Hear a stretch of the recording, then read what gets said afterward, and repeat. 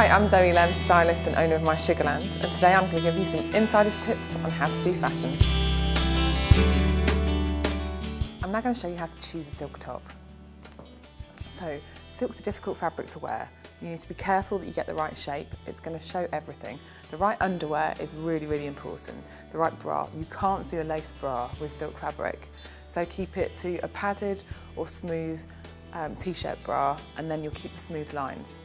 You still need to pick a shape that's really fitted and works for your shape. So keep it a little bit nipped in. If you go too loose, then it's going to drown you.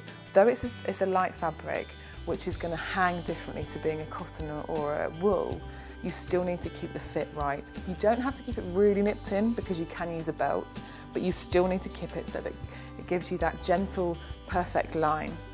The sleeves are really important. Again, if the arms are the area that you worry about, that's a great length of sleeve because it's only three quarter. So it's going to cut the, through the middle of the arm and it's going to cover the area that you want to, but it's not going to be too heavy. If you go too strappy, thin straps on a silk top can be unflattering, depending on what you wear over the top. The pocket here is a flat pocket. You don't want to go for too much heaviness and too much um, layering of the fabric over the bust, especially if you've got a big bust. So be careful of the detail here.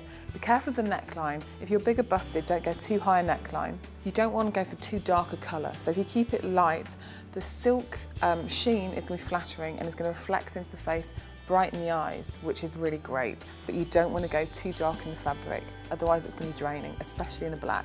So this beautiful mauve works really well and it's going to be a great colour if you've got blue or if you've got green eyes. And that is how to choose the perfect silk top.